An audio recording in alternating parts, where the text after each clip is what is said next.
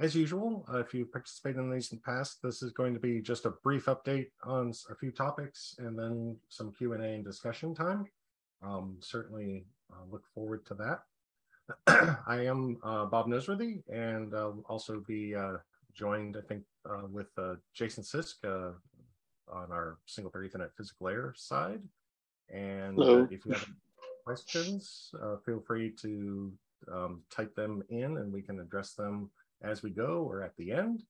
Um, I'm definitely looking for this, as always, to be an interactive uh, opportunity here. So, um, given that we got a little bit of a late start, I think I'll just jump in and uh, hopefully we'll have a few other folks join in as we proceed. But um, as always, I appreciate your time. A brief overview of the lab. As always, our organization's been working with TSN and single pair Ethernet and all the way back to 10BASE-T and FDDI since 88. Um, so quite active with Open Alliance uh, and, and other activities in, in this space. Just recently back from the IEEE um, plenary up in Montreal. Uh, so Jason and I will uh, give you a, a, brief overview of, of some of our um, encounters in Montreal and any other takeaways. And we have a few other bits of news around Plugfests that I want to make sure uh, we talk about and some ongoing research activities. So again, we're just going to quickly go through those Montreal updates from the 802 plenary, a little bit on our T1S and T1L activities, including some plug fests around that, around PTP, around high-speed networking, um, and touch on a few other notes in the industry that may be of interest to parties here. Um, again, we're thankful that we could get some of our staff and students since Montreal is just a five hour drive up the road. We were able to take quite a few folks so they could experience their first IEEE meeting, get, uh, in some cases, actual international travel under their belts. You have to remember some of our students are only with us for four years. So two years of the pandemic, that's half their uh, academic career in college at least. So it's, it's nice to finally get some of those students engaged. Um, really quickly, um, can't obviously cover all the meetings and all the topics uh, in a brief update, but some highlights that um, stuck out for me and, and might be of interest to you, therefore. Uh, the DG Automotive TSN profile continues to move forward. There was some interesting discussion on, you know, what's the right profile. It's not so much that people can't, of course, do PTP. We can figure out how to do PTP. It's how do we fit it in a standards context where we aren't breaking any rules of the standard. And it turns out there's a small annoyance with GPTP as it's written right now, um, where even if BMCA is turned off as the new 2020 standard allows for 802.1 AS GPTP, you're still required to send an announce message. And while there are some things like the Avnu Automotive profile that says turn off BMCA and don't send announce messages, in an IEEE standards, we have to be self-consistent and conformant to all the different requirements. So unless the GPTP standard can get changed quickly, which is an effort that is, is being pursued, um, devices would still have to send an announce message even if they're not doing BMCA. So some discussion of, well, gee, is that the right profile for us to use? Or should we perhaps look at a 1588 profile, know, a, a variation of the default profile to get this done in a timely manner. Um, I don't think that's going to happen based on the discussions, uh, and I'll hit that in just a second. Um, there is a bit of movement on 6802. Finally, we are moving to a working group ballot. That's significant in that it is uh, now draft two. Um, draft 1.4 comments were completed. That was made back in July um, late June rather, and the comments were completed in July. So we've gone from thousands of comments that take months and months to to get through to a more manageable progress on the on the group's effort. Um, following working group ballot would be SA ballot. So uh, that's a standard association ballot. It's the last step before becoming an actual standard. So because it has taken longer, they had to push out the project authorization request or the PAR, um, but that's gone through. That'll be May 2023 um, when they expect to um, be at SA ballot, and that one year later is how long they're authorized to go um, to complete that. It could complete faster. Um, and that would be welcome because everyone's anxious for the industrial TSN profile to be ready um, and testing efforts to, to be based off of uh, at least a technically complete draft, which we are rapidly approaching. Um, there's several 802.1 AS amendments, um, including the uh, hot standby effort, um, the current 2020 standard. While there's some mechanisms for multiple domains, there's no clear guidance on how one should do um, a hot standby from one grandmaster to fail over, you know, to a to a secondary hot standby, which is what that standard will address. That's also where they're intending to squeeze in the quick change to GPTP to say, oh, and you don't have to send an announce message, um, because that's the one of the drafts that's farthest along here. Um, there are three others. Uh, there's a YANG data model draft um, that's in flight. Um, a small but important update around inclusive terminology, since so many of our synchronous communications technologies and PTP make use of terms such as master slave and you know there's desires to find ways to move forward from that language but not leave technical confusion behind us um, a big one why i pulled it out as a separate bullet here is the asds effort which is allowing 10 base t1s principally uh, to support uh, tsn uh, P- ptp specifically um, because again uh, really not many half duplex technologies have been in use over the past several years. And with 10 base T1S's popularity in the automotive space, at least, half duplex Ethernet is back. The use of CSMA with PLCA uh, is certainly quite popular. But at the end of the day, it's still half duplex. So you have to be clear on where timestamping and how timestamping is reported. On that same note, we've had efforts in the past in 802.3 to improve timestamping. 802.3CX is proceeding to SA ballot draft 3.0 um, is what's going through that. It's it's technically complete. It's it's a, a great improvement over the initial effort by dot three to define some improvements on the timestamping accuracy. And if implemented properly in uh, new PHYs, then a system could get min and max delays for the current link of all the components in their system, whether they have XAUI connections or any other sort of intervening connections between the Mac and the PHY, uh, as well as WIS layers, not that anyone does WIS, the WAN interface sublayer from 10 gig days, and, and so on and so forth. Anything that might add variable delay could be reported so that enhanced accuracy could be achieved, in fact, perhaps to a sub nanosecond level. Um, so that's encouraging. We'll see if adoption and validation can, can prove out you know, some of those implementations as they emerge. Um, in the dot three space, um, certainly uh, Jason was a little bit more involved here. Do you want to speak to CY, Jason? Yeah, uh, although I would apologize in advance, it seems uh, CY is I, I mis uh, described here as MG based T1. Um, that is not the case. It is uh, 25 gig based T1, as the following comment suggests. Um, but hello, everyone yeah, work with Bob here as the SP technical manager. So hoping to follow along some of these IEEE specs during the uh, Montreal visit was nice to see. Um, for CY itself, it was more of a continuing um, progression of looking at, uh, I would say, scrambler schemes and some of the other discussions, um, more technical on the protocol side for 25 gig. And uh, again, as I guess, was witnessed, um, more of the focus is on one lane, 25 gig. For prior objectives did describe the 50 gig and 100 gig options, but with that being only one pair or multiple pairs from the one 25 gig lane, um, deemed not as necessary to specify as that could be wrapped up in a future spec or just defined as more pairs. Um, continuing to follow that, but in the grand scheme of things, there wasn't a whole lot of progression made, I think, in Montreal. For DA, the enhanced 10 base T1S multi-drop segment, uh, there was a lot of discussion uh, with investigating it. Um, the data and power transmission options that have been brought forward, what channels to use to pair uh, or a single pair, what are the benefits. Um, but the, I would say, um, the kind of reorganizing of what are the main focuses and desires of the group was nice to see. Um, and it kind of brought forward what do we want to transfer or how do we want to transfer the data and power and what are the implications of that. Um, so to look at that, they brought forth more channel options, um, whether you know um, it could meet the enhanced number of nodes that this DA is trying to propose, or it can meet some of the characterization of the noise environments that people were bringing forward in an industrial space or um, automotive sense.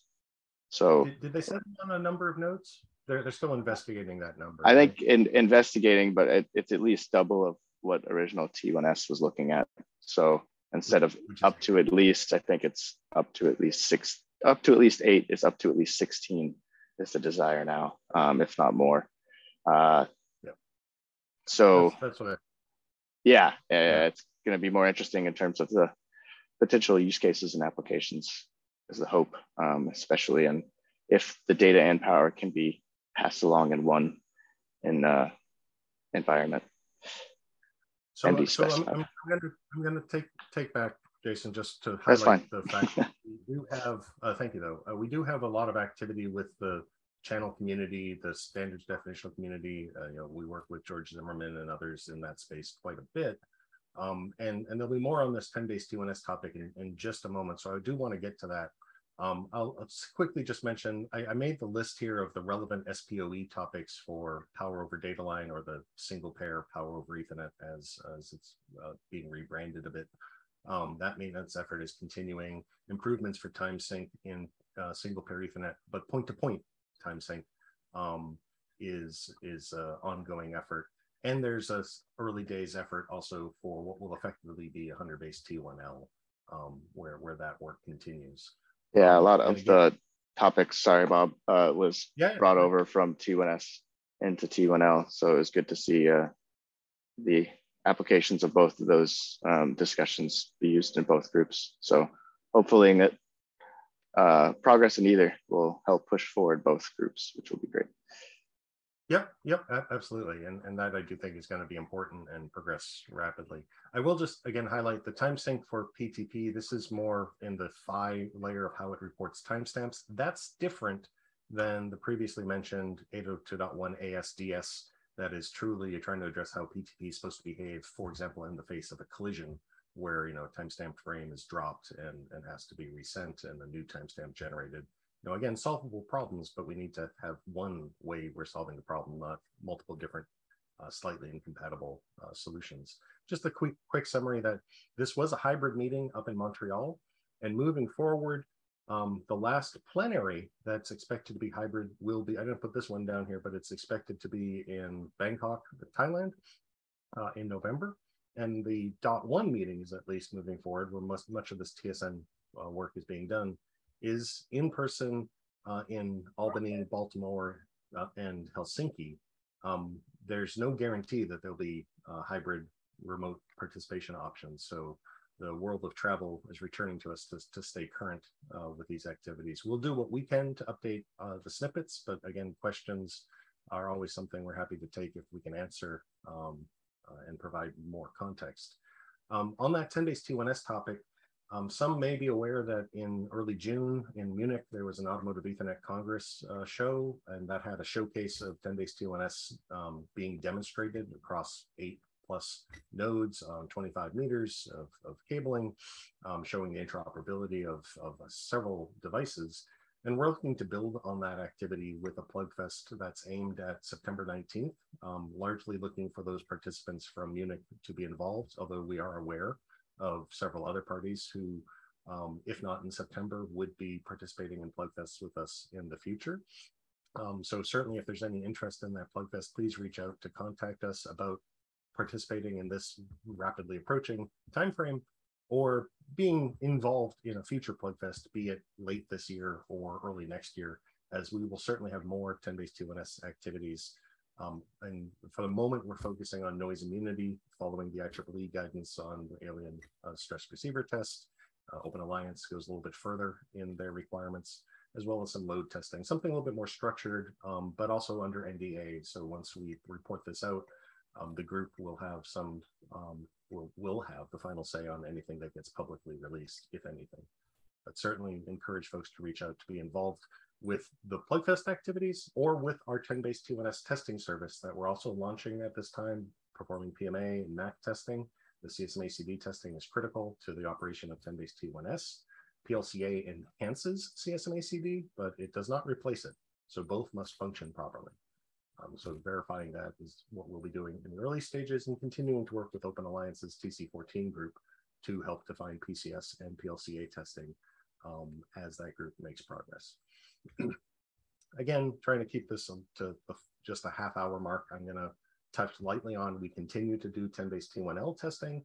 Um, we work closely with the APL group. We have test software and test hardware, um, test fixtures that parties can use to test in-house or test with us. Uh, we work closely with the APL group members, PNO, OPC Foundation, ODVA, FieldComm group to uh, define those tests, but we're also very interested in working with silicon vendors to provide full IEEE silicon conformance testing based on the 802.3 standard. Uh, APL testing naturally is focused on if I take this semiconductor that should be conformant and connect it to my product, connect it to this Mac, you know, provide power to it, use different connectors, does everything still work? Um, it's not verifying the underlying semiconductor itself, which is still an essential element of completing um, confidence building exercises here in this space. So we are working with some silicon vendors to engage with that. We've had some effort for ANEG and PCS testing, but completion of, of PHY control and PCS and ANEG is still essential uh, for that effort, in my opinion. Um, Jason touched on some of this, but there, there are certainly interests beyond the low speeds. Um, we certainly have um, 100 base T1 testing ongoing, in fact, ongoing right now with vendors in our lab. Um, but we also have um, challenges where we need multiple tooling options. And fortunately, we still expect to see a second um, gigabit uh, T1, 1000 base T1 test tool come online by the end of this year. that will help both give us confidence that we have multiple ways to perform the test, that the tools are working properly, and hopefully give us a little bit more capacity to clean up what is certainly a pressure in the industry to see this testing uh, uh, available. Um, we are continuing to work with the Ethernet Alliance to support their SPE interests. Have a little bit more on that uh, coming up.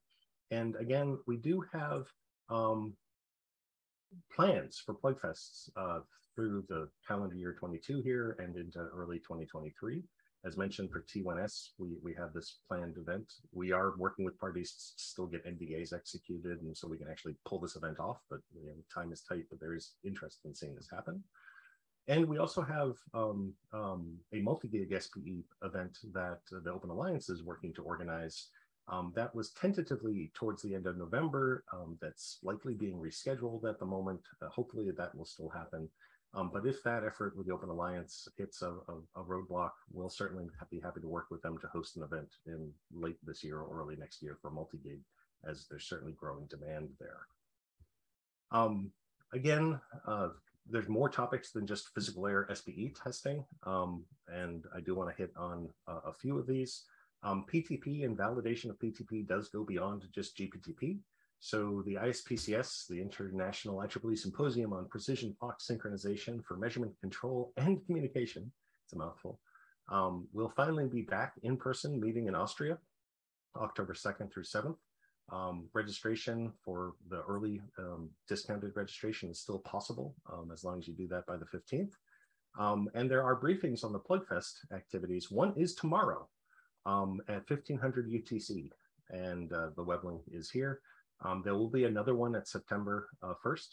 Um, highly encourage folks to participate in those briefing calls. There's, there's no registration requirement. Um, it is uh, certainly a requirement to be registered to be at the PlugFest, but if you have interest in testing telecom, uh, broadcast profiles, high accuracy, white rabbit like uh, profiles, or GPTP or power profile, etc., um, these generally occur um, in the two and a half days of the PlugFest, and there's a conference, and there's a sync school for uh, PTP uh, basic training and such that occurs uh, at these conferences. So definitely a, a recommended opportunity, uh, especially if it's convenient to you. Um, there was mention in the past webinars of the P1952 effort and a request for a little bit more information. So I have a little bit more information here. Um, pointing you to the membership of the group. Um, it's an IEEE group, so anyone can join as an uh, uh, in, in, the activity and contribute, uh, review the drafts, um, propose uh, uh, solutions as the effort builds upon the Department of Homeland Security's res resilient PNT conformance framework. Um, the goal here is to provide uh, obviously increased assurance of GNSS receivers in user equipment. Um, And the challenge here and why we're involved is obviously timing has to come from somewhere. And if it's in a substation or in a telecom environment um, or mobile vehicle, in many cases, it may come from a GNSS, typically GPS. Um, and having some assurance that devices are designed well. Um, we don't, we can't prevent GPS from um, being blocked by skyscrapers in a downtown section. We can't prevent um, some inadvertent or verdant uh, forms of jamming to occur, but we can define how the devices should behave in those conditions, how they might fail safe, if you will, um, and how they recover, how they perform as really resiliently as possible. So again, this effort is still fairly new. Drafts are expected in early 23, a full draft and ballot perhaps by mid-July. But in parallel to that, there's a conformity assessment effort run through ICAP that um, is getting underway. And folks with these interests should participate either in the standards group or the ICAP effort or both. Speaking of ICAP, 1588 efforts for ICAP continue. Um, that is the conformity assessment effort within IEEE. Uh, we have ordinary clocks, Grandmaster capable, Grandmaster only, slave only devices that can be tested uh, today. We've just wrapped up pilot testing for transparent clocks, still looking for the pool of boundary clocks to grow a bit. And the test plan itself is still open for comment and review, but that window is closing. So I encourage folks to get involved in this PTP power profile effort if you still have that interest, at least to provide comment on the test plan um, or to send your products through for testing or work with us to get our test software so you can do some pre-testing in-house if your preference is, is to get as ready as possible before you come in uh, to test with us. For time, I'm just going to touch quickly on, you know, we have had telecom interests. We've participated in the ORAN Alliance uh, Spring Plugfest. We are working with the ORAN Alliance to be part of their Fall Plugfest. The planning for that literally is just getting underway, so very early uh, to say. But anyone looking at S-plane activities, the ITU 8275.1 or .2, we certainly could have some interest there um, to, to work with your, yourselves or you know, with Calnex or, or Keysight Ixia, others to, to validate these technologies. And similarly with Ethernet Alliance, we continue to work with that organization with what is planned for October 10th of that week uh, for another high-speed uh, plug fest. We had one back in April. Uh, there's pent up demand. So having another plug fest roughly six months later um, uh, is still very likely to happen. I don't expect that to change. Um, and mentioned earlier, I'll, I'll just uh, highlight it here again, that the SPE efforts within Ethernet Alliance continue to move forward. There is some discussion of possibly having plug fests for SPE through EA. They may be more power over data line or SPOE related. Um, they may be T1L and SPOE um, combined. There might be T1S, but a, a lot of the effort seems to be focused on trying to provide validation and certification. So that group um, may uh, rise in that space, and we'll certainly be working to support them. I do want to mention at the at the end here, and look at that right on the 30 minute mark. Um, I do want to mention that in parallel to um, these testing efforts and standardization efforts that our lab engages with, we do support our researchers. And UNH has for some time been pursuing NSF projects in, in various forms. We, we have multiple submissions of late around um, 5G activities for NSF engines and, and other innovation uh, efforts that NSF is supporting. And this one, IUCRCs, are industry university collaborative research centers. So we have um, with Georgia uh, Tech and uh, uh, North Carolina State University um, um, established a, a, planning effort. It's the first stage of the NSF support for what will be a Center for Digital Factory Innovation. Um, think of it like Industry 4.0. Um, think of it as a, another a center focused on um, AI and machine learning uh, as well as uh, wireless sensors, be it Wi-Fi, 5G, or otherwise, uh, as well as TSN as part of the research components of what this group would be looking at. Um, other universities are expected to participate, and this is also supposed to engage and will have planned uh, participation from from various parties. Um, I, I, won't throw out names, but but certainly um, various companies throughout the, the North America and potentially beyond looking to support their particular research interests collaboratively uh, within the constructs of this NSF-IU CRC. so that planning meeting down in Georgia Tech uh, is September 20th and 21st. I encourage folks to to look at that Georgia Tech uh, webpage and, and potentially participate uh, if if you're if you're interested in such. Um, so lots of different topics. Um, I'll certainly open up to questions. Folks can grab the microphone, I believe, if you wish, um, or you can type out your question. Um, I'd love to hear um, feedback. Um, we, Jason or I can try to clarify on any topics we might have skimmed over too quickly or perhaps omitted.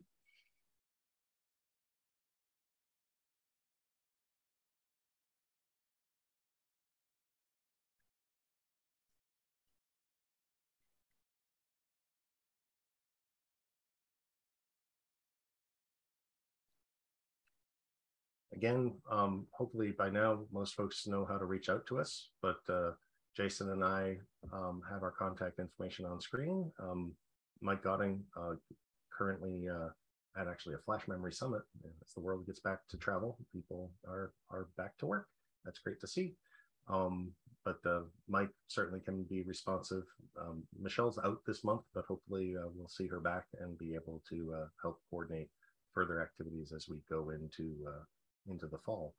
Um, if if there's any topics or questions, uh, feel free to to ask. Um, if you have an opinion or would just like to to get a discussion going, you're also welcome to do that. I think anyone can un unmute at any time if you wish. I'll just go back to the 10 base T1S Plugfest mention. Um, and I'm curious of of those in attendance here, um, do the SPE topics of either 10 base T1S or 10 base T1L uh, hold an interest for you?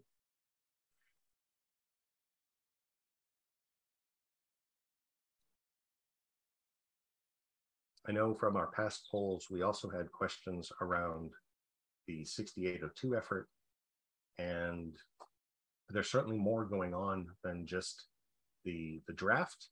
Um, there is an effort underway to try to start to define uh, conformity assessment um, for this standard. Um, that's just in the early stages as a group, much like the APL group has just finalized some uh, um, legal documents to to exist. Um, I'll I'll have more of an update on that. Um, probably where would we be here? We'd probably be in October um, for for such an update. Oh, if if we go for the first week of October as we normally would do, then I would be joining you from Austria, as I do intend to be um, at the Plugfest supporting that event, as IOL has uh, for 10 plus years now been supporting ISPS uh, Plugfests um, and also chairing their technical uh, papers effort with our um, computer science department uh, chair.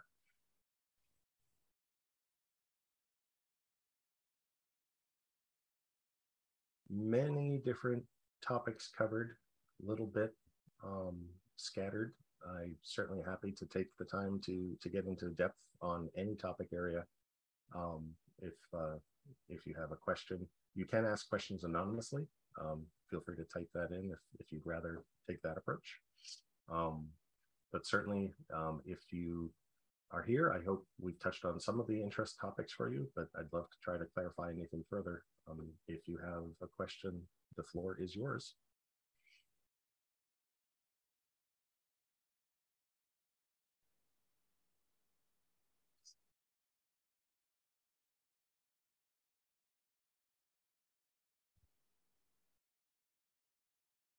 Eric, you're always good for a question.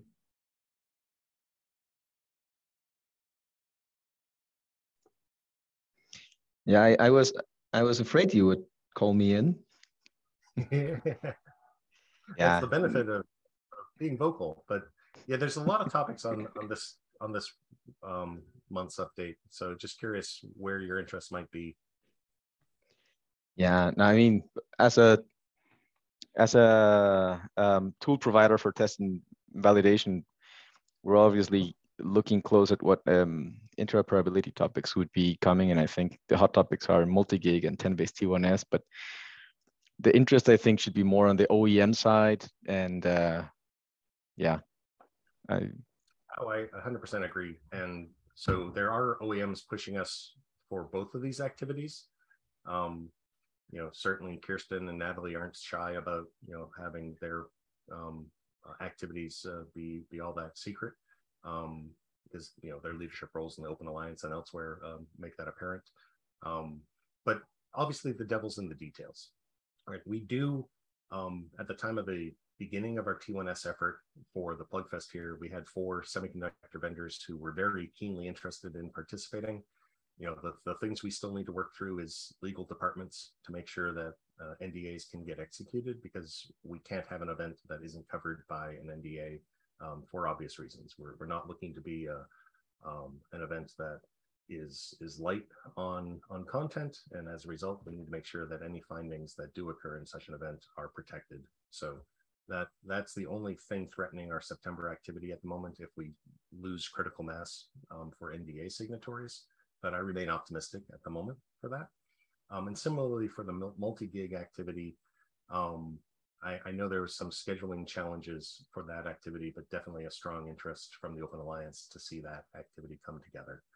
Um, so you know, plugfests aren't the end all be all for sure, but we've seen problems. And over the pandemic, we've seen problems with some of the technologies where all the focus has been is on conformance testing.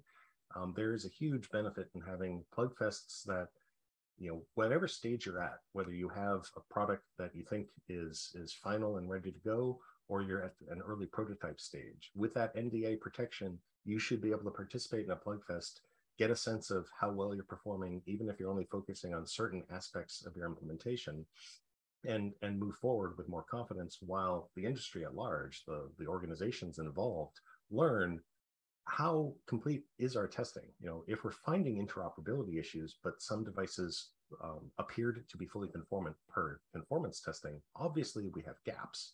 What's the cause of that gap? Testing in, incomplete, test plans inaccurate, test tools that have faults or standards that have problems. It, it is essential uh, ingredients here. So I'm glad to see the, the Plugfest coming back in importance. Um, they're certainly not um, all that is needed, but it, it is an important part. And you know, certainly I would agree that um, tool vendors are essential. We can write a test plan, but if we don't have a tool to help perform the test plan or verify the test tools, obviously is meaningless.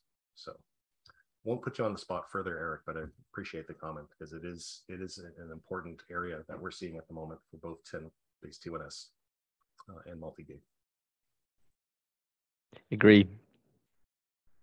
Yeah. Um, and we did mention, I think, at some point, MACsec when you were touching the security items a few months ago. I don't know if this remained to yeah. be something of interest it, in the industry. Hugely, hugely um, major attention in the Automotive Ethernet Congress um, back in June. Um, you're right, I, I, only mentioned it in one of our past meetings when we also, I think, talked about some of the PTP security mechanisms. There's an authentication TLV um, that 1588 uh, 2019 defined. That will be part of the test coming up at ISPCS for those implementing that feature. But that's only integrity and authentication. It, it's not um, encryption of the link like MACsec offers. You know, so the content beyond PTP um, certainly uh, can and uh, may, in many cases, need to be secured. So absolutely, MACsec is of, of high interest from what I've seen, and then you get into the implications of well, if you're running TSN through MACsec, uh, etc. Um, if from you know selfishly from the UNH IOL perspective, our MACsec services unfortunately are a little bit out of date, focusing on some older versions of MACsec but as we have seen an uptick in MACsec requests, uh, that is an effort that I'm, I'm hopeful um, we'll be able to dust off and offer more up-to-date uh, services there. But certainly there's interest, there's certainly need, and MACsec interoperability alone could certainly be valuable.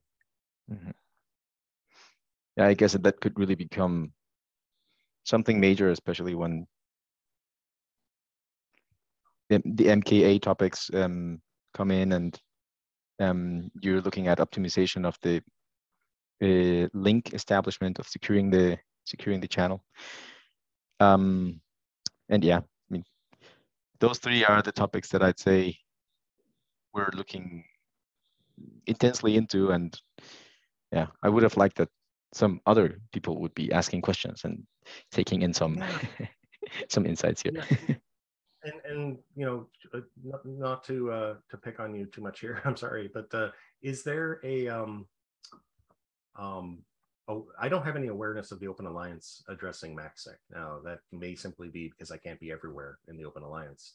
Um, mm-hmm. And while I certainly don't want to breach NDAs of, of what groups are doing internally, much of what the Open Alliance does when they complete it is posted publicly.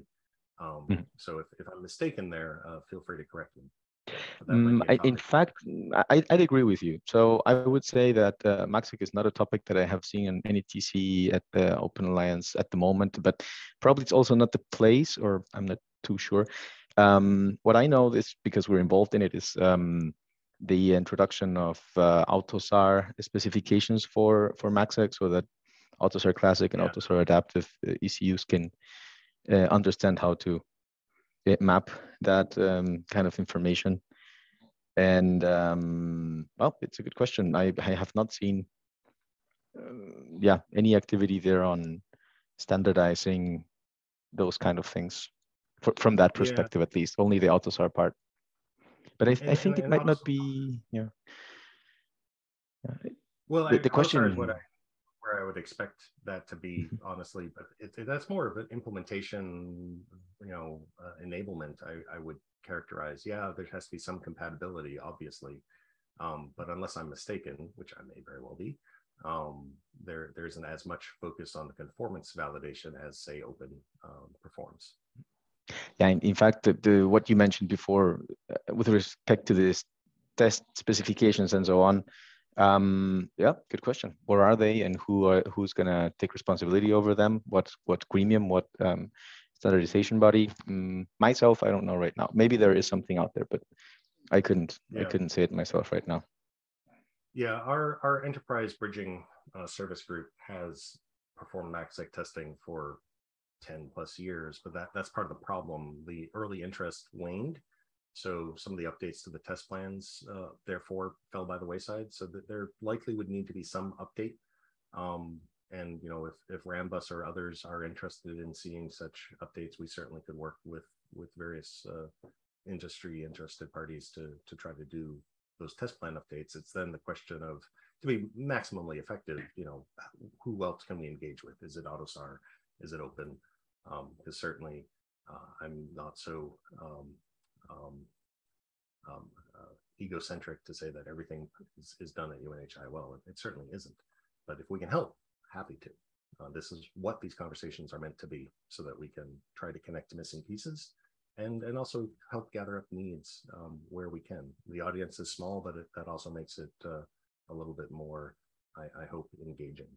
Um, so certainly whether whether it's the folks on the call here or if folks are reviewing this uh, offline uh, as the recording we if you've gotten this far congratulations. But you know certainly feel free to reach out to us with with what your needs might be.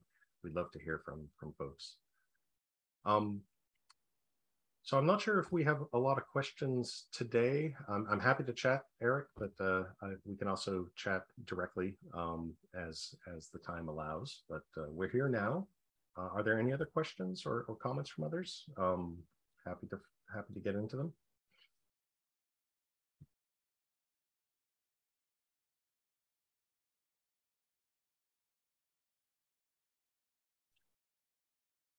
If not, um, the only other, I because I, I, know the past poll mentioned in several places um, the IEEE 1588 validation. I'll just again stress parties can send devices to us today for the power profiles. Um, while our group can test the default profile, we can test um, uh, you know various other forms, IPv6 encapsulation, verify transparent clock, uh, hardware timestamping, and such. Um, our main focus in this effort is for the certification uh, within the IEEE for the IEC 61850 9-3 standard, um, or the C37.238 standard. You don't have to do C37.238. That's an add-on to the 61850 9-3. Whether you're an ordinary clock, transparent clock, or boundary clock, if you have an interest in getting registered through the IEEE, um, the utilities and others may uh, grow in their demand or, at least interested in seeing that validation. We welcome that uh, conversation. Um, I also will put up um, just the mention here uh, and I know there's a million different ways that uh, these problems can be skinned, but a large part of the 6802 effort and the conformity assessment for this is going to be around the YANG uh, data models um, and their validation um, as so much of the industrial uh, TSN effort is about a centrally managed network where all the bridges and end stations can be interrogated, discovered, configured, etc. And that's all done by a common management mechanism. Um, so much of the validation here will be of that management. Um, so certainly as, and if folks are interested, uh, encourage you to reach out with how exactly and, and by what process, you know, these, these specifications will be developed, how people can get early testing. And again, in the industrial TSN space, there may very well be a benefit in having a plugfest around industrial TSN just as much as there might be a value in an automotive MACsec TSN test scenarios, since putting all these pieces together can often start to expose problems. Um, and maybe that's best done in AUTOSAR context. That that's uh, certainly not the first time AUTOSAR has come up uh, in the past few months, uh, as far as being uh, of growing importance for for validating some of these efforts, even if it's just from the part the point of including them in the AUTOSAR framework. That still requires some level of validation and integration. Okay, well, I, I, won't push us to the to the hour. Um, just uh, just to hear me keep on talking because I I can do that pretty easily, but I don't want to um, abuse your time. Um, please feel free to reach out if there's something specific we can answer that that we didn't touch on here. Also, please feel free at the end of this webinar there'll be a small survey. Uh, please take a moment to let us know um, what you might be interested in hearing next. My intention is to still have these as follow-ups to the IEEE um, 802 interims and plenaries, roughly one month after each time they occur. Obviously, some months will have more news than others, um, and you know we'll we'll certainly adjust uh, accordingly.